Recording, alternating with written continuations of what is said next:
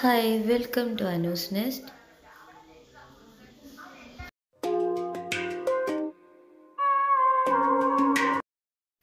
channel ഇഷ്ടമായെങ്കിൽ subscribe ചെയ്ത് bell button അമർത്തേണ്ടതാണ്. എല്ലാവർക്കും നമസ്കാരം. എന്റെ യൂട്യൂബ് ചാനലായ അനൂസ് നെസ്റ്റിലേക്ക് ഒരിക്കൽ കൂടി സ്വാഗതം. ഞാൻ ഡോക്ടർ അനു. അപ്പം ഞാൻ ഇന്ന് ഇവിടെ വന്നിരിക്കുന്ന സബ്ജക്റ്റ് എന്താന്ന് പറഞ്ഞു കഴിഞ്ഞാൽ നമുക്ക് ചില ആളുകൾക്ക് പല്ലില്ലാത്ത ഭാഗത്ത് പല്ല് വയ്ക്കുന്ന ഒരു മെത്തേഡ് ഉണ്ട്. അത് രണ്ട് രീതിയിൽ വയ്ക്കാറുണ്ട്. ഒന്ന് ഫിക്സഡ് ആയിട്ട് വയ്ക്കാറുണ്ട് ഒന്ന് റിമൂവബിൾ ആയിട്ടും വയ്ക്കാറുണ്ട്.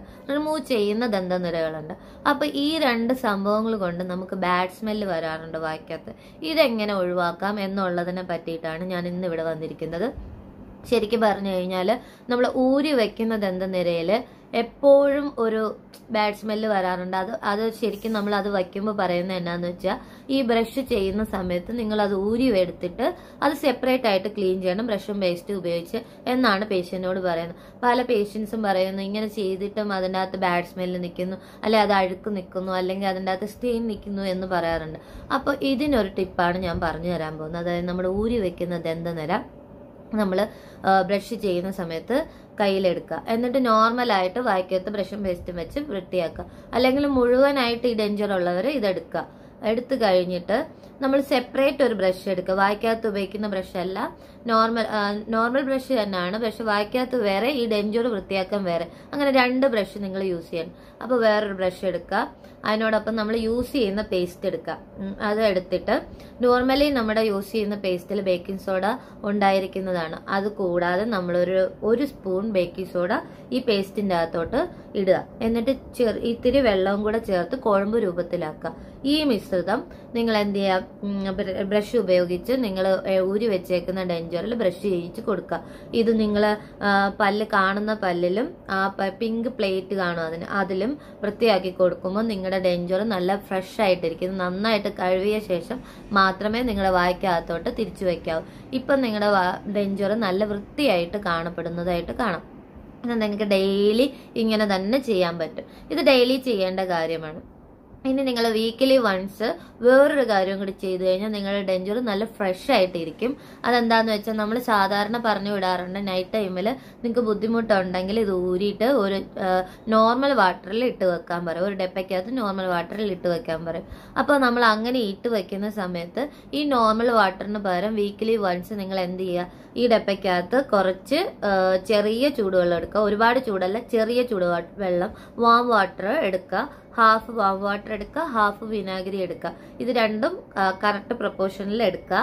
എന്നിട്ട് ഇതിന്റെ അകത്തോട്ട് നിങ്ങൾ ഊരി വെക്കുന്ന നേരം ഇട്ട് വെക്കുക. എന്നിട്ട് നിങ്ങൾ ഓവർനൈറ്റ് ഇത് കീപ്പ് അവിടെ വെക്കുക. ഓവർനൈറ്റ് കഴിഞ്ഞ് രാവിലെ നേരത്തെ പറഞ്ഞ പോലെ ബ്രഷ് ചെയ്യിച്ച് നല്ലതായിട്ട് വാഷ് ചെയ്ത് നിങ്ങൾ തിരിച്ചു വെച്ച് നോക്കൂ. നിങ്ങളുടെ വായ്ക്കകത്ത് നല്ല ഫ്രഷ്നെസ് ഫീൽ ചെയ്യും. ഇതുകൊണ്ടുള്ള ബാഡ് സ്മെല്ല് മാറിക്കിട്ടും. അപ്പൊ ഇത് രണ്ടും നിങ്ങൾ ഫോളോ ചെയ്യണം. ഡെയിലി നിങ്ങൾ ബ്രഷും പേസ്റ്റും ഉപയോഗിച്ച് ഞാൻ പറഞ്ഞ രീതിയിലുള്ള പേസ്റ്റ് ഉപയോഗിച്ച് വൃത്തിയാക്കുക. വീക്കിലി വൺസ് ഈ പറഞ്ഞ രീതിയിൽ ഇതിൽ മുക്കി വെച്ചിട്ട് വൃത്തിയാക്കി എടുക്കുക അപ്പൊ ഈ രണ്ട് രീതിയിൽ ഫോളോ ചെയ്ത് കഴിഞ്ഞാൽ നിങ്ങൾക്ക് റിമൂവബിൾ ആയിട്ടുള്ള ദന്തനിരകൾ ഊരി വെക്കുന്ന ദന്തനിരകൾ കൊണ്ടുള്ള ബാഡ് സ്മെല്ല് മാറിക്കിട്ടും. പിന്നെ നമ്മൾ ഫിക്സഡ് ആയിട്ട് വയ്ക്കുമ്പോഴത്തേക്കും നമ്മൾ ശരിക്കും പറഞ്ഞ രണ്ട് പല്ല് കണക്ട് ചെയ്തായിരിക്കും വെക്കുന്നത് അപ്പം നമ്മുടെ അതിന്റെ ഇടയിൽ ഒരു നാച്ചുറൽ ടീത്തിന്റെ ആർട്ടിഫിഷ്യൽ ടീത്തിന്റെ ഇടയിൽ കുറച്ച് ഗ്യാപ്പ് കാണും. ഈ ഗ്യാപ്പിന്റെ ഇടയിലൊക്കെ ഫുഡ് കുടുങ്ങിയിട്ട് അത് എടുത്ത് കളഞ്ഞില്ലെങ്കിൽ ഭയങ്കര സ്മാഡ് സ്മെല്ല് വരും. പിന്നെ ഈ ഫിക്സഡ് ആയിട്ട് വയ്ക്കുമ്പോഴത്തേക്കും മോണയ്ക്കകത്ത് നല്ലതായിട്ട് അഴുക്ക് കയറും. അപ്പൊ ഈ ഫിക്സഡ് ആയിട്ട് വയ്ക്കുന്ന സമയത്ത് നമ്മൾ സോഫ്റ്റ് ബ്രഷ് ഉപയോഗിച്ച് ആ ഫിക്സഡ് ആയിട്ട് വയ്ക്കുന്ന സ്ഥല വച്ചിരിക്കുന്ന എവിടാണോ ആ കണക്ട് ചെയ്തേക്കുന്ന മോണയിൽ നന്നായിട്ട് ബ്രഷ് ചെയ്യേണ്ടത് അത്യാവശ്യമാണ്. ഇത് കൂടാതെ ഈ സ്പേസിന്റെ ഇടയിൽ നിങ്ങൾക്ക് ഫുഡ് കുടുങ്ങുന്നുണ്ടെങ്കിൽ അതായത് നാച്ചുറൽ ടൂത്തിന്റെ ആർട്ടിഫിഷ്യൽ ടൂത്തിന്റെ ഇടയിൽ നിങ്ങൾക്ക് ഒരു ചെറിയ ഗ്യാപ്പ് കാണും. ഈ ഗ്യാപ്പിന്റെ ഇടയിൽ നിങ്ങൾ ഫുഡ് കൊടുക്കുന്നുണ്ടെങ്കിൽ നിങ്ങൾ ഡെയിലി എന്ത് ചെയ്യുക? ഓരോ മീറ്റ് ഐറ്റംസ് എന്തെങ്കിലും ഹാർഡ് ഫുഡ് കഴിച്ചിട്ട് അതിന്റെ ഉള്ളിൽ കുടുങ്ങിയിട്ടുണ്ടെങ്കിൽ നിങ്ങൾ ഫ്ലോസ് ഫ്ലോസ് എന്ന് പറഞ്ഞു കഴിഞ്ഞാൽ നൂൽ പോലത്തെ ത്രെഡ് കണക്കിരിക്കുന്ന ഒരു സംഭവമാണ്. അത് ഉപയോഗിച്ച് നിങ്ങൾ ആദ്യം ഒരു ബുദ്ധിമുട്ട് കാണും. അത് നമ്മുടെ കൈക്ക് കൈയുടെ ചൂണ്ടുവിരൽ രണ്ടും കെട്ടിയിട്ടിട്ട് ഇങ്ങനെ ക്ലീൻ ചെയ്യേണ്ടതാണ്. അതൊന്ന് ക്ലീൻ ചെയ്ത് കഴിയുമ്പോഴത്തേക്ക് റെഡി ആയിക്കോളും. ഈ ഫ്ലോസിന്റെ പല രൂപത്തിലുള്ളത് നമുക്കിപ്പോൾ മാർക്കറ്റിൽ കിട്ടും. അതായത് റെഡിമെയ്ഡ് ആയിട്ടുള്ളതുണ്ട് ഇലക്ട്രിക്കൽ ഫ്ലോസ് ഉണ്ട്. അപ്പോൾ അത് നോക്കിയിട്ട് നിങ്ങൾ ഫ്ലോസ് മേടിക്കാം അത് കഴിഞ്ഞിട്ട് ഈ ഇടയിൽ ക്ലീൻ ചെയ്ത് കൊടുക്കുക. ഇങ്ങനെ ഇടയിൽ ഒരു മൂന്നോ നാലോ വട്ടം ഡെയിലി ചെയ്യുമ്പോഴത്തേക്കും തന്നെ നിങ്ങൾക്ക് നല്ല ഫ്രഷ്നെസ് ഫീൽ ചെയ്യും. പിന്നെ ഈ ഡെഞ്ചേഴ്സ് ഉള്ളവർ അത്യാവശ്യമായിട്ട് ചെയ്യേണ്ട എന്താന്ന് പറഞ്ഞാൽ ചെറിയ ചൂടുവെള്ളത്തിൽ ഉപ്പിട്ടിട്ട് ഞാൻ ആദ്യത്തെ വീഡിയോ പറഞ്ഞ പോലെ നന്നായിട്ട് ഗാർഗിൾ ചെയ്യുക. ഇങ്ങനെ ഗാർഗിൾ ചെയ്യുമ്പോഴും ഈ ഫിക്സഡ് ആയിട്ടിരിക്കുന്ന ഭാഗത്തുള്ള മോണയൊക്കെ സ്ട്രോങ് ആവും. അവിടെ എന്തെങ്കിലും അഴുക്കോ അണുക്കളോ ഉണ്ടെങ്കിൽ തന്നെയും അത് പോയിക്കോളും. അപ്പൊ അതുമൂലമുള്ള ബാഡ് സ്മെല്ലും പോവും. അപ്പൊ ഈ ഫ്ലോസ് യൂസ് ചെയ്യുക. ഇനിയിപ്പോൾ നിങ്ങളുടെ ഗ്യാപ്പിൽ ഫ്ലോസ് നിങ്ങൾക്ക് യൂസ് ചെയ്യാൻ പറ്റുന്നില്ല. ഭയങ്കര ബുദ്ധിമുട്ടായിട്ട് നിങ്ങൾക്ക് തോന്നുന്നുണ്ടെങ്കിൽ ചെറിയ ബ്രഷ് കിട്ടും. അതിന്റെ പേരാണ് ഇന്റർ ഡെന്റൽ ബ്രഷ് എന്ന് പറയും.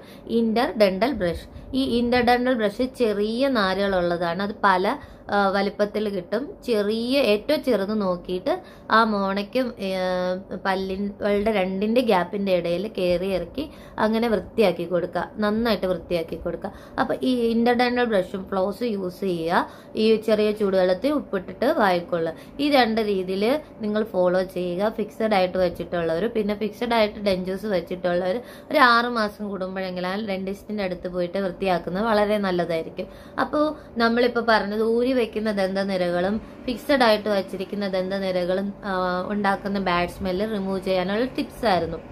അപ്പം ഇത് ഇതുപോലെ ഫോളോ ചെയ്യുകയാണെങ്കിൽ നിങ്ങൾക്ക് ഉറപ്പായിട്ടും ഈ ബാഡ് സ്മെല്ല് മാറി കിട്ടും.